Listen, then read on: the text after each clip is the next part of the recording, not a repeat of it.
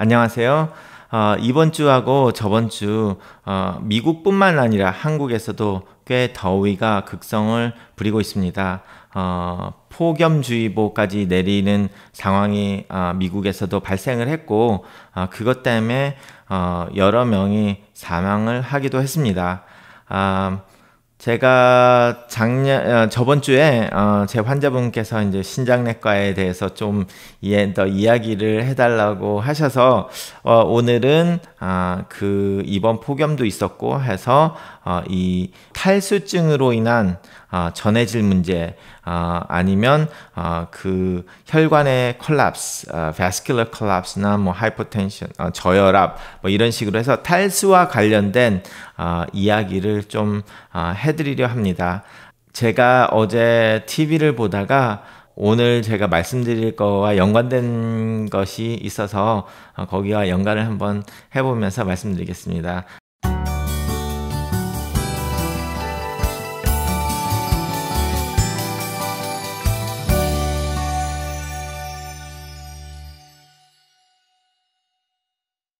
안녕하세요. 아, 제가 어, 인턴과 레지던트를 할 때 아, 미국의 드라마로 Grey's Anatomy 해가지고 미국 한국말로는 그레이스 아나토미라고 해야 되나요? 아, 의그 미국의 그 시아틀인가 에 있는 병원에서 일어나는 아, 인턴 레지던트들의 아, 이야기의 드라마가 굉장히 아, 유행을 했었습니다. 제가 인턴 레지던트 할 때 저의 와이프도 그거를 보고 재밌다고 아, 보려고 했는데 음, 저는 그때 그 드라마나 뭐 ER 이런 드라마를 굉장히 싫어했어요. 음, 그 병원의 시스템이 어떤 거는 좀 어, 맞게 이야기된 것도 있지만 대부분의 경우 너무 어, 드라마틱한 게 많아서 어, 특히 의사들이 생활에 대해서 어, 제가 굉장히 싫어했는데 뭐 제가 그때 인턴 레지던트 할 때 뭐 다른 레지던트들도 거기에 대해서 좋게 생각은 안 했죠. 음, 뭐 매일마다 병원에서 어? 레지던트끼리 섹스하고 어, 환자는 조금 보고 뭐 서로 어, 농담이나 했었고 커피 마시고 뭐 어디 어, 놀고 또 섹스하고 아 뭐 그런 것만 하, 하는 게 레지던트 일과처럼 그렇게 보이는데 혹시라도 의대 지망생이 있다면 절대 그런 일은 없습니다. 음, 뭐 보통 새벽 5시에 아, 출근을 해서 뭐 6시, 5시, 6시에 출근을 해서 어, 솔직히 아침 먹는 시간도 없을 정도로 굉장히 바쁘게 일을 하고 어, 집에 퇴근을 할 때까지 어 뭐 점심도 못 먹었다 하는 어 레지던트가 많을 정도로 어 그렇게 일을 하죠. 어 그리고 어 그렇게 뭐 친구들하고 아니면 다른 같은 레지던트나 뭐 이야기는 좀 하지만 어 앉아가지고 뭐 어디서 어 방에 앉아가지고 침대에 앉아서 뭐 이야기를 할 그런 시간은 절대 없죠. 그런 일 있으면 빨리 일하고 끝나고 퇴근을 하지. 아, 뭐 여하튼 빗나갔는데 자 거기에서 또 하나 어, 저를 비롯한 많은 어, 의사들이 어, 특히 레지던트 뭐 힘이 힘들어 가지고 죽겠는데 그 드라마를 보면 야 뭐 저 레지던트는 맨날 놀면서 아니 무슨 레지던트가 어, 일반 내과 레지던트가 뭐 뇌, 뇌수술도 하고 뭐 애도 받고 다 하네 그렇게 하는. 뭐 의대를 다닐 때는 그런 것들을 다 보긴 하지만 이제 레지던트를 한다는 거는 한 과를 해가지고 한 과만 계속 하게 되는 거죠. 어, 그렇기 때문에 어, 뇌 수술을 하는 의사가 산부인과 환자를 본다든지 아니면 뭐 뇌수술을 하다가 어, 뭐 배를 열어 가지고 수술한다든지 그런 일은 없어요. 레지던트 할 때는 벌써 전문의로 간 코스이기 때문에 어, 그런데 어, 뭐 제 백인 친구가 하나 그러더라고요. 자기 부모님이 그런 걸 보면서 어, 막 봐, 봐서 자기가 또 짜증이 나서 어, 자기 어, 어머니한테 그랬대요. 아, 저 레지던트가 저런 거 다 하려면 레지던트만 해도 50년은 레지던트를 해야 돼. 저런 거 다 알 수 있다고. 전문의로서. 그래서 뭐 웃은 일이 있었는데 그래서 저도 아, 집에 오면 Grey's Anatomy 뭐 이런 거 나오면은 별로 보는 거 싫어했어요. 그러다 보니까 이제 와이프도 눈치를 보고 어, 못, 봐, 못 보다가 이제는 자기가 보고 싶었던 거라서 뭐 넷플릭스를 해서 아, 본다고 해가지고 제가 저도 뭐 이, 지금이야 뭐 시간이 다 지났으니까 그냥 헤헤 웃으면서 음, 뭐 옆에서 있지만 아, 그런데 어제 와이프가 보는 것 중에 하나에서 음, 왜 신경외과 의사들이 신경외과 의사들이 아, 탈수가 된 환자를 매니지멘을 하는 걸 봤어요. 아, 그래서 총 그게 뭐냐면 diabetes insipidus라고 해서 어, 그 뇌의 뇌하수체 이, 이쪽 안에 아, 뇌하수체 질환인데 뇌하수체에 종양이 생기면 어, 소변이 엄청나게 쏟아져요. 어, 그러기 때문에 탈수가 굉장히 되거든요. 어, 신장내과 전문의를 먼저 어, consult를 하는 그런 케이스입니다. 그래서 diabetes insipidus를 내과로 입원을 한 다음에 소, 소변이 너무 많이 나와서 아니면 물을 너무 많이 먹는다고 해가지고 발견이 되고 MRI를 찍어봤더니 발견이 돼서 입원을 하고 입원하자마자 신장내과 전문의를 consult를 해서 어, 전해질을 관리하고 물을 관리하고 약을 써서 stable 한 다음에 뇌수술을 하는 건데 여기서는 신경외과 의사가 입원을 시키고 아 물만 먹지 말라고 하는 거예요. It's good to see you're back on solid ground, Dr. Shepard.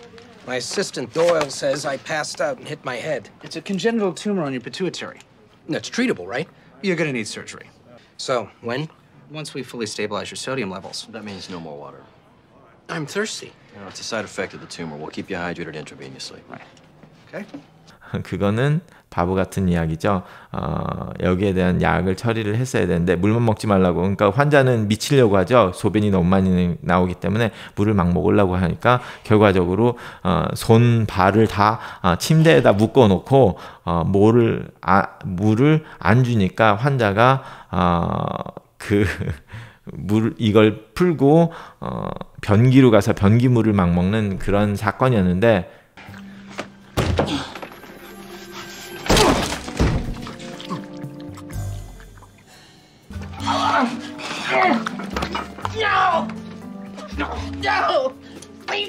Leave alone! Let me go back! I need the water! I need it! We're, we're trying to help. I don't want your help! Give him a 3% hypertonic solution, 500 cc per hour for the next four hours to stabilize him. What is it? Why'd you page me? He was acting all jittery and started slurring his words. Martin, can you hear me? Two of Ativan. He started seizing. How much sodium did you give him? 500 cc over four hours. Actually, doctor, you ordered 500 cc per hour over four hours. Too fast. His brain is swelling. I thought I Why said- didn't you do a follow-up? I gave you one thing to do. It's gonna be okay, right? If he's permanently impaired, I can't operate on him like this. 신장내과 전문의 컨설트 했으면 그런 일이 없었죠? 바보 같은. 아, 이 드라마에 나온 이 케이스는 솔직히 다이비리스 인시피러스로 해서 소변이 많이 나오기 때문에 어, 그 사람들이 그 소변이 많이 나와서 그거를 compensate 하기 위해서 물을 많이는 병- 많이 마시게 될 수밖에 없는 병입니다. 어, 그렇기 때문에 이런 환자는 물을 먹지 말라고 하는 게 아니라 물을 충분히 먹게 하면서 IV로 어, 더 어, 수분을 어, 만든 다음에 어, 나트륨이 올라가 있으니까 나트륨을 어, 정상 레벨로 떨어뜨린 다음에 이제 원래 수술을 하는 건데요. 그렇기 때문에 이 지금 일어난 드라마에 대해서 어, 요거 요 장면만 가지고 지금 얘기를 하기 시작하면 또 뭐 한 시간 정도 이야기할 수도 있으니까 너무 복잡한 관계라서 이거는 의대생들한테 이야기를 해야 되는 그런 전문적인 좀 지식이 필요한 거고 어, 결론은 어, 그 너무 높이 올라간 거를 너무 낮 빨리 낮추는 것도 문제고 너무 빨리 낮추면 뇌부정이 생길 수 있고 아니면 너무 높이 올라가도 문제가 생, 생길 수 있습니다. 뇌 어, 그러기 때문에 어, 이, 어, 이 관리에 대해서 굉장히 어, 심한 극도의 상황이 되면은 어, 사람이 죽을 수도 있기 때문에 거기에 대해서 좀 전문적인 치료를 하게 되죠. 조금만 뭐 어, 정상 레벨에서 조금 벗어난 정도야 이제 내과에서도 핸들을 할 수 있지만 그 이상을 하면 생명의 위험이 하기 때문에 이제 전문가가 아, 도맡아서 일을 하게 되는데요.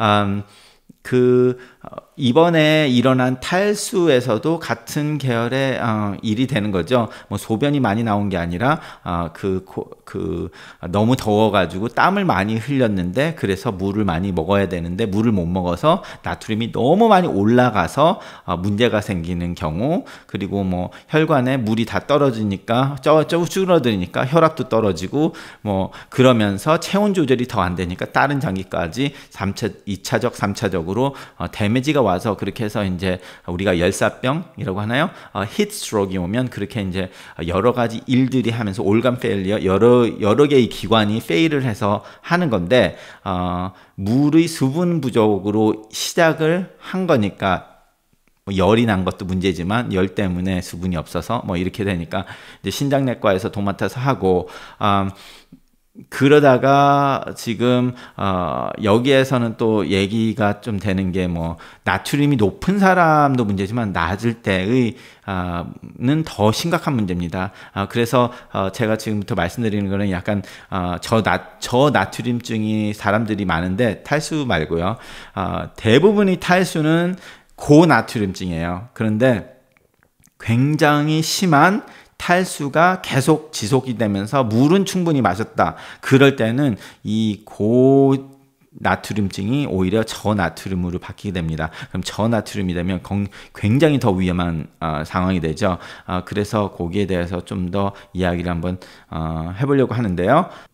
이번에 저 지난주와 이번 주에 어, 그 사람들이 어, 더위로 인해서 어, 사망을 한 경우가 이런 경우 비슷하게 갑니다. 어, 뇌에 종양은 없지만 어, 굉장히 더우 더위에서 땀을 뻘뻘 흘려서 어, 히트스트로크로 해서 어, 열이 너무 많아가지고 어, 혈관이 풀리면서 문제도 되지만 문제도 되지만 어, 그거까지 안 간 사람들은 계속 물만 먹게 되면 어, 땀에서는 소금이 나오 소금물이 나오고 맹물만 마시니까 결과적으로 나트륨의 농도가 급격히 떨어지면서 어, 그 나트륨에서 정신이 몽롱해지고 그리고 정신이 몽롱해서 쓰러지면 누가 발견을 해서 바로 병원에 오면은 대, 다행인데 바로 못 보면 그러면서 쓰러지고 나서 결과적으로 탈수로 죽게 되거나 아니면 쓰러진 다음에 바로 했는데 뭐 열 때문에 그렇고 여러 가지 일들이 일어나요. 그런데 이제 제가 지금 말하는 거는 이 나트륨 얘기가 나왔으니까 나트륨에 대한 이야기만 합니다. 그래서 아그 그런 게 지속돼서 왔을 때 소디엄 레벨이 뭐 110, 120까지 110 뭐 이 정도 103 예전에 103까지 봤어요. 103을 하면 시저로 어, 환자가 혼수 상태로 들어오게 됩니다. 그래서 어, 초보 의사가 잘못해서 어, 링게를 너무 어, 특정한 잘못된 링게 뭐 포도당 이런 거를 해가지고 어, 주게 되면 환자를 더 죽일 수가 있는 그런 상태가 벌어지게 되죠. 어, 물론 물론 환자가 탈수 때문에 죽을 수도 있지만 치료 과정에서 의사가 죽일 수도 있는 상, 상황이 이 발견, 발생을 하는 굉장히 까다로운 병이기 때문에 제가 이런 어, 경우가 오면 피 검사를 2시간에서 4시간마다 24시간 내내 계속 하게 됩니다. 그러면서 어, 그 링게를 여러 가지 링겔이 있는데 어, 그런 링겔을 여러 종류를 막 바꿔가면서 속도를 조절해서 어, 피 검사를 하면서 하는 굉장히 음, 고난도의 어, 그 치료가 필요한 어, 상황이기 때문에 어, 반드시 이제 뭐 신장내과 전문의를 안 부르지는 않죠. 실제 상황에서는 음, 안 불러가지고 죽었, 죽였잖아요. Grey's Anatomy에서는. 뭐, PD가 재밌게 하려고 했겠지만, 근데 그런 일들이 가끔 일어나는 데가 있습니다. 자, 그래서, 어, 뭐, 재밌으라고 오늘은 좀 그냥 여담처럼 말씀을 드리는데요. 아, 이번에, 아, 그 폭염이 이렇게 오고 그렇지만 자기가 어떤 경우로 인해서 뭐 야외에서 계속 있어야 된다. 그러면 어, 맹물만 계속 드시지 말고요 어, 약간 소금을 어, 끼가 있는 어, 물을 마시든지 소금을 살짝 넣어서 마시든지 땀이 많이 난다면 어, 아니면 뭐 게드레이 게드레이도 솔직히 소금이 많이 들어가 있지는 않아요 전해질은 좀 있지만 어, 그래서 이런 거를 마시면서 뭐 그러니까 물을 마신다면 뭐 그 칩이나 짠 거, 짠 것들을 같이 먹으면서 하면은 좀 더 안전할 수 있고요.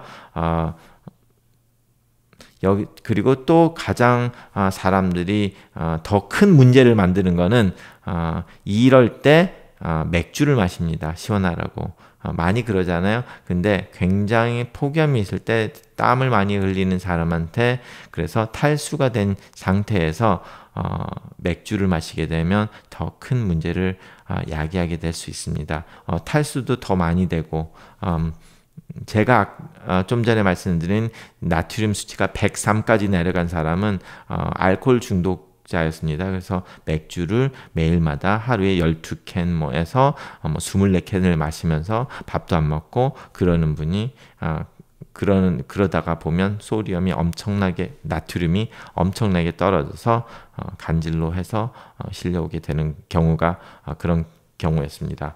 음, 그래서 이번 폭염에 어, 그 몸 조심하시고요. 되도록이면 너무 더우면 어, 바깥에 나가 계시면 안 되고요. 특히 노약자분들은 이런 어, 수분 관리하는 어, 그 적응 능력이 떨어지기 때문에 노인분들은 아니면 아이들도 어, 특별히 더 조심을 해서 더우면 실내에서 에어컨이 있는 실내에서 생활을 좀 하시는 게 어, 안전합니다. 감사합니다.